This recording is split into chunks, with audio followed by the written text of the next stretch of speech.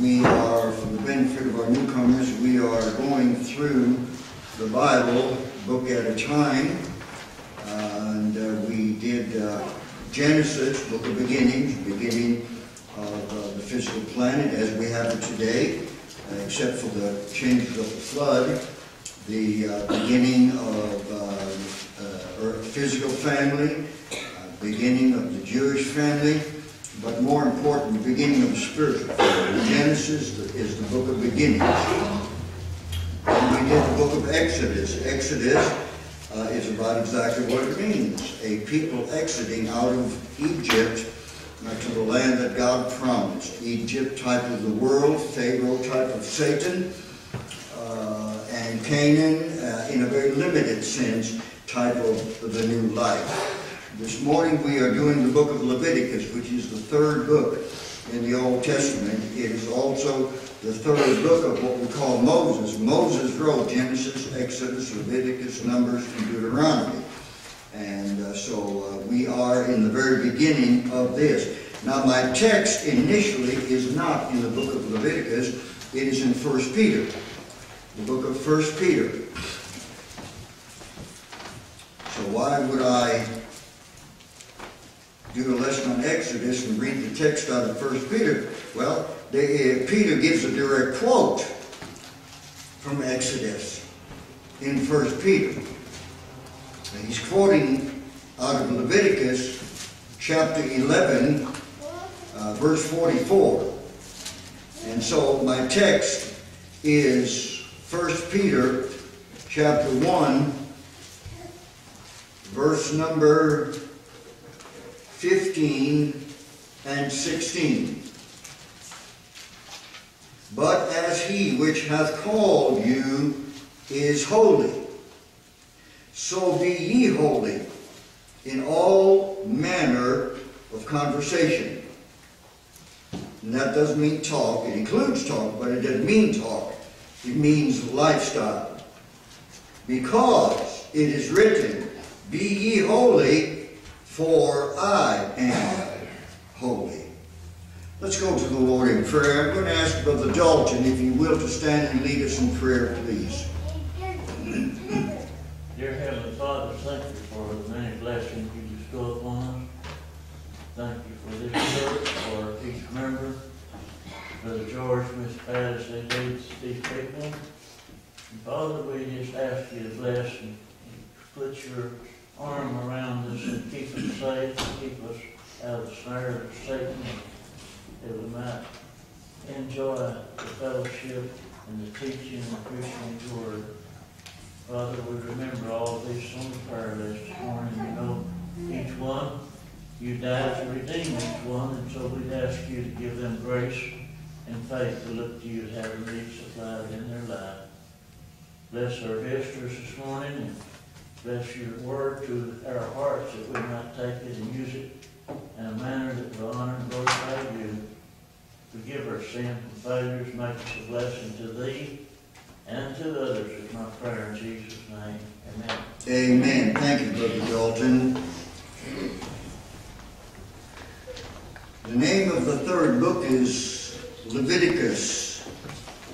It stands for the tribe of Levi, one of the twelve sons of Jacob. The Levites were the priestly tribe, the tribe which God chose out of all of them to be his servants in ministering the temple, the tabernacle, teaching of the law, and teaching the people the Word of God. The book Leviticus literally means in the matter of the Levites, the priestly tribe. They were dedicated to God. They were the keepers of the tabernacle. They were the teachers of the law. Out of them came the priestly tribe, Aaron, his sons, and then each generation on down until there were no more. they did not receive an inheritance in the land like they like all the other tribes did. The other tribes got massive amounts of land. The, the priests got a house, or the whole family might have got a city. But for the larger inheritance, they did not because God said, I am their inheritance. The other tribes were to provide for the priestly tribe. A principle that is clearly spelled out in the New Testament. But seek ye first the kingdom of God and his righteousness, and all these things shall be added unto you. That principle also plays out in the life of every believer. 1 Corinthians 6.19 What? Know ye not that your body is the temple of the Holy Ghost, which is in you, which you have of God, you're not your own. You're bought with a price. Therefore, glorify God in your body and in your spirit, which are His. Paul reminding the Hebrews in Hebrews 13 to not be covetous, to be content with what you have, because the Lord will never leave you nor forsake you. And so the uh, Levitical tribe and the priestly tribe were to trust the Lord, who through the people would take care of them. This book, like the other two that uh, we have already studied, and the next two, were written by the man Moses. The book begins with, in chapter 1, verse 1, and ends with chapter 27, verse 34, and the Lord spake by Moses. The place this book was written was Mount Sinai, a literal, physical mountain in the Middle East. It is known for where God came down in smoke, fire, and brimstone, causing utter fear in the lives of the Jewish state, and camped at the bottom of this mountain. It is where Moses went twice to get the Ten Commandments and remained 40 days. The entire book of uh, Leviticus was given in less than 30 days. There is no movement of the nation from place to place. They stayed put. Uh, this happened max 1445 BC, one year after they came out of Egypt. The theme of the book is twofold. Number one, atonement, which means to cover. Spiritually, of course, to cover our sins. Speaking of the blood of the Lord Jesus Christ. The key verse for that would be chapter 17 in Leviticus, verse 11. For the life of the flesh is in the blood. And I have given it to you upon the altar to make an atonement for your souls. For it is the blood that maketh an atonement for your souls. It means to cover. The word atonement in its various forms is found in the book of Leviticus 50 times. And it is meant to remove sin. Typically, it spoke of the Lord Jesus Christ, the Lamb of God, slain for the remission of sins. And the Bible reminds us in Hebrews 9:15, without shedding of blood is no remission of sins. It is the holy blood of the Holy Son of God that is the covering to cover the sins, of which the first seven chapters in the book of Leviticus speak. The second key word to the book of Leviticus is the word holiness. Chapter 11, verse number 44. Chapter 11, verse 45. For I am the Lord your God. Ye shall therefore sanctify yourselves, and ye shall be holy, for I am holy. I read that to you with a few more words just now out of 1 Peter chapter number 1. The word holy in its various derivatives in the book of Leviticus is found after over 100 times. The book of Leviticus is a book for God's people. After redemption, after salvation, after atonement, once we are saved, the key word of our life is to be holiness. We are then God's people. And there is in the book of Leviticus, which by the way, everything is fulfilled in Christ. There is in the book of Leviticus a massive amount of material. First of all, to the Levitical tribe as they do the work of God concerning holy living. Secondly, to the priests who did uh, the blood work of offering lambs and once a year going into the holiness of God. There is for them an enormous amount of material about how they are to live holy, separated lives unto the Lord.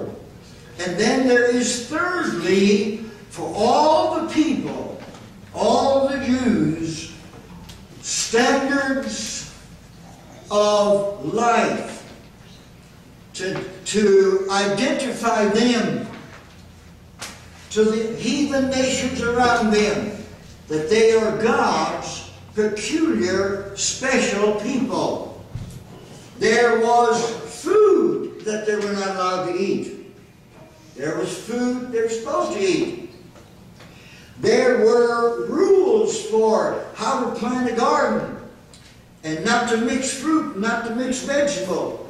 And in their husbandry and in their animal life, how not to mix, uh, uh, for example, wool with other clothing. The whole, and then there were for the people uh, about uh, uh, how to get over diseases. And while they were diseased, they were not allowed to go into the presence of the Lord.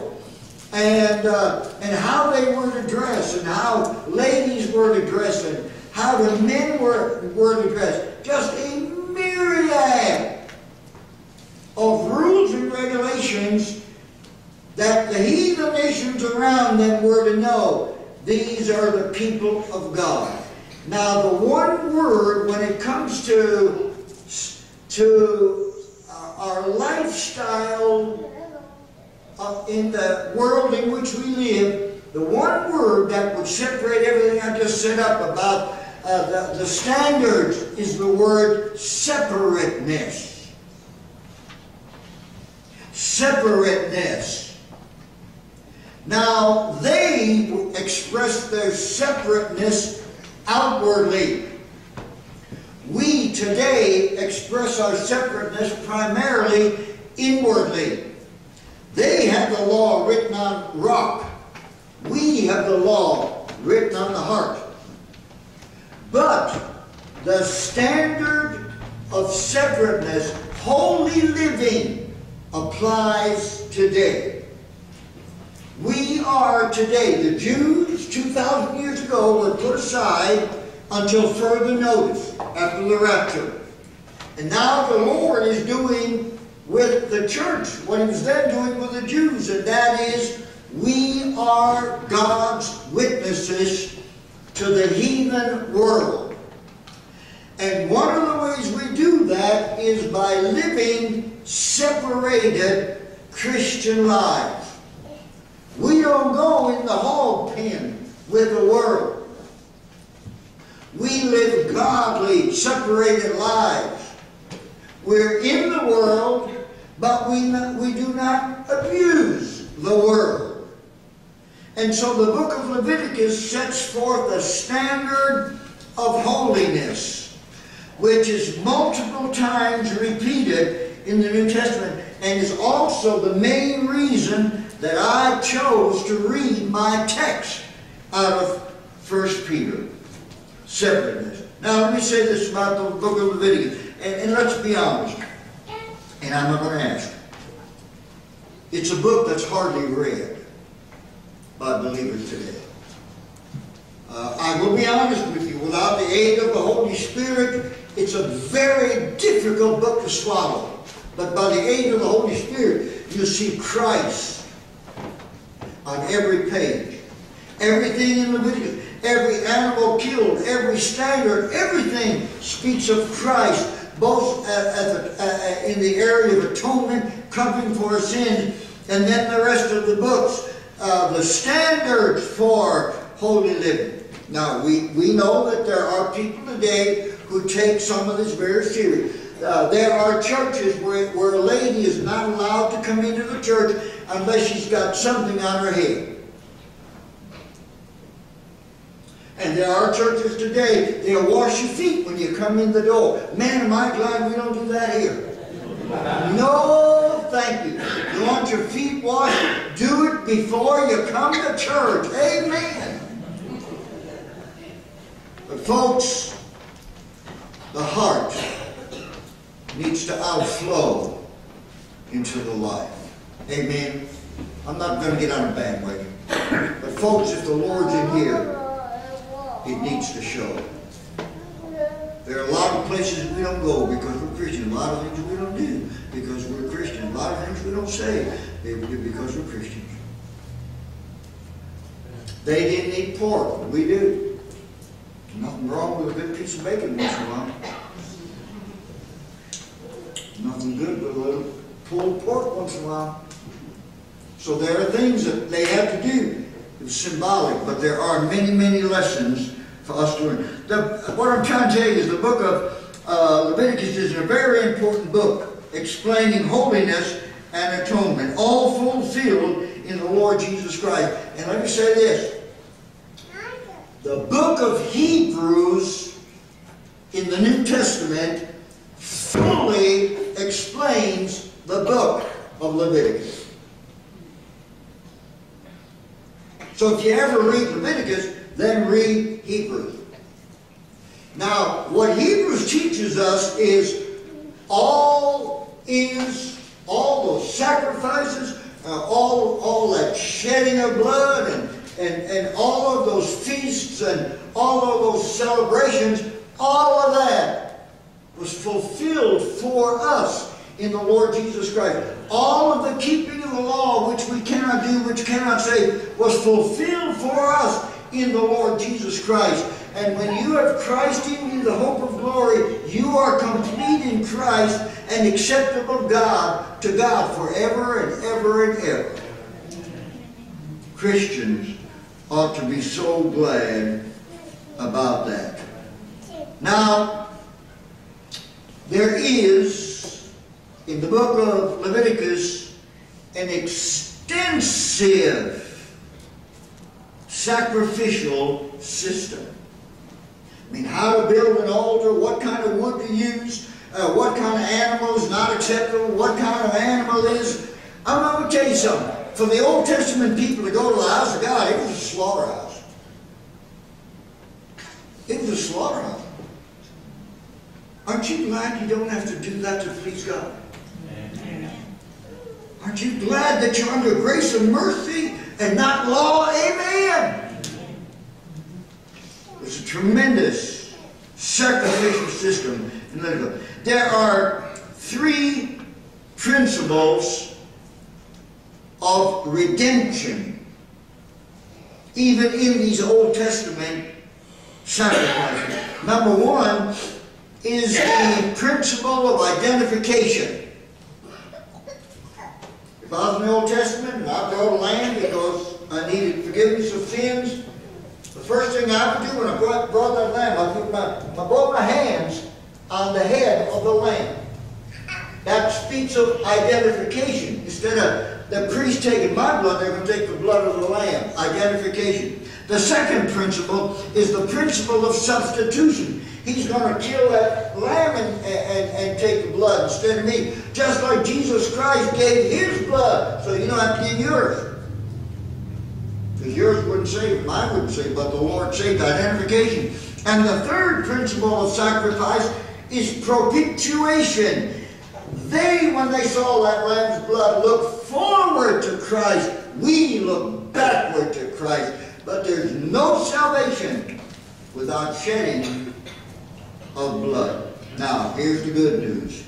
The identification, the substitution, and propitiation, all fulfilled in Christ. All you as Gentiles and I as a Gentile have to do is to confess our sins to Jesus Christ and to bow to His Lordship and receive Him by faith.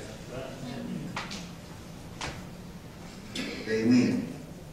Now, I want to be very brief about this, but I do want to give this to you. So bear with me for a minute. This may be a little tough for a Gentile audience, but let me very briefly give you the five offerings and just make one explanation about each. First of all, there was the burnt offering. That propitiated for sin, covered sin. It signifies complete dedication to God, fulfilled on the part by Christ, fulfilled when we, in us when we receive Christ. Second offering was the meal or meat offering, symbolized the humanity of the Lord Jesus Christ. There was no leaven, which speaks of sin, and it speaks of the sinless Christ. Number three, there was a peace offering, which spoke of fellowship, the peace that we have in God and now have fellowship. Then there was a sin offering. If I have committed a sin on the Sabbath, I will bring a lamb to cover the sin offering. And then number five is what they call the trespass offering. This was specifically for sins for which there was no cure. For example, you kill someone. Now, by the way, under the Old Testament, you can kill someone, they killed you, there's the end of that. By the way, capital punishment is biblical. How about this one for America today? The land that sheds blood cannot be cleansed but by the blood of those who shed it. Now, folks, if that's not capital punishment, I don't know. How about Romans 13 1? The, the, the, governor does not bear the sword in vain. What do you do with the sword? You don't kiss it, you get killed by it. But suppose I did something and there wasn't any way I could make it right. Chopped off somebody's arm. That's what the trespass offering was for. Now, Christ fulfilled all five offerings and sacrifices. 1 John 2 2. Christ is the propitiation for our sins. Wow.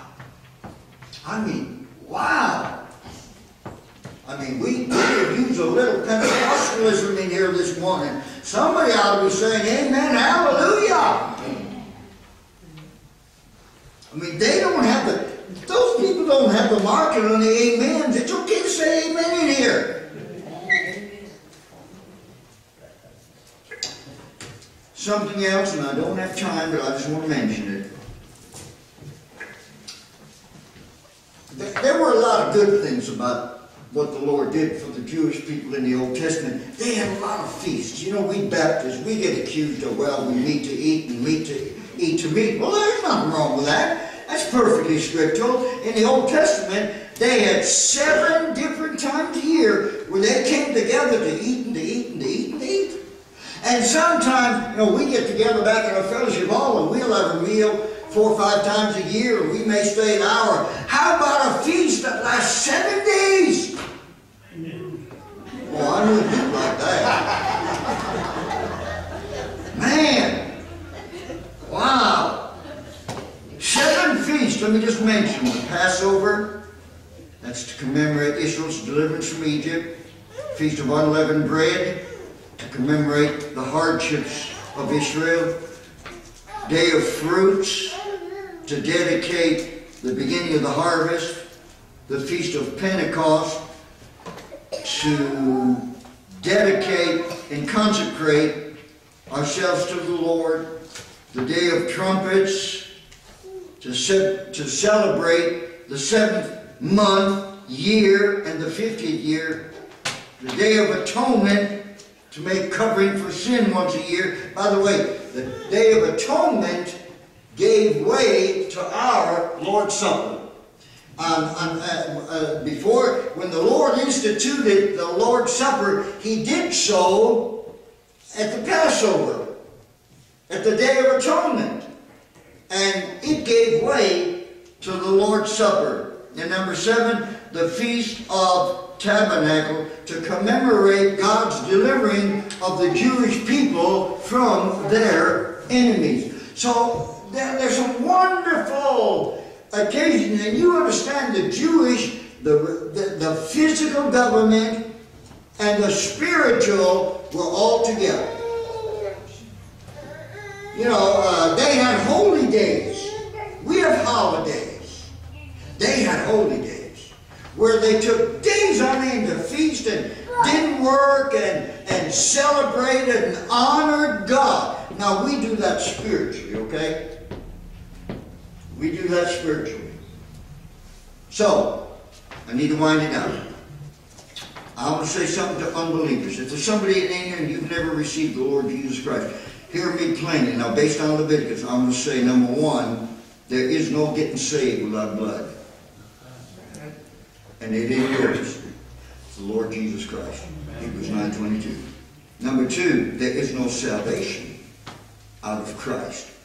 You can't do what, this, what the, the Jews did in the Old Testament, the book of Leviticus. You can't go out in the backyard and kill a lamb. That's done. Jesus Christ, when the death, burial, and resurrection finished the Old Testament Jewish system. Done. Kapush. It's done. Without shedding of blood, is no remission of sin, and there is no salvation outside of Christ. Acts 4.12. Number three, judgment's coming. Judgment's coming. Do you really think the way our world today is mocking God and desecrating everything that's sacred? Do you really think God's just going to sit back and not avenge? No, no, no. Judgment is coming. I'll say number four, today is the day of salvation. 1 Corinthians 16, 2. Today is the day of your salvation. And all that simply leads me to say this. Flee to Christ for refuge. Then let me say to believers, what we learn out of the book of believers is number one, you're saved, born again. If you are, if you are a believer, you have trusted faith in Christ. Now, folks, we got to live it. I beseech you, therefore, brethren, by the mercies of God, that you present your bodies a living sacrifice, wholly acceptable unto God, which is your reasonable service. And be not conformed to this world, but be ye transformed by the renewing of your minds, that ye may prove what is the good and perfect and acceptable will of God. How does that play out? You love the Lord.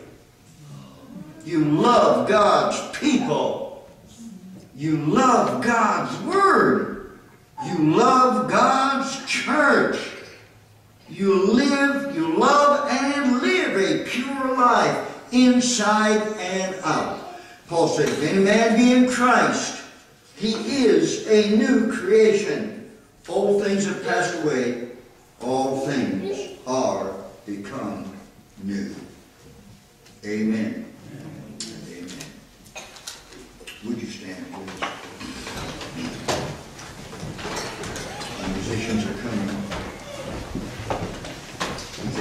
Bowed. Every eye closed.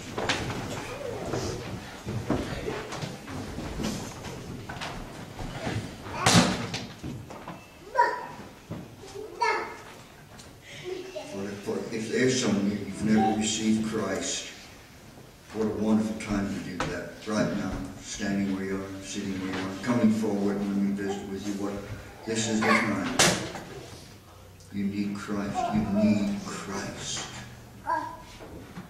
And then the believers, folks, if there ever was a time when churches together, individual believers must let their light shine, because folks are living in a dark world. We're living in a dark world. We're, we're, we're living in a world that is quickly slipping into the history books. We're living in a world where people are slip, quickly slipping into, into a lost eternity, into a Christless grave. We must let our light shine for the Lord Jesus Christ. If you want to come and pray, pray where you are. Come up, come to the altar, come to the bench, or whatever. If you just want to come and pray, commit yourself to the Lord. Folks, we must let our light shine for the Lord Jesus Christ in these days. May the Lord bless you.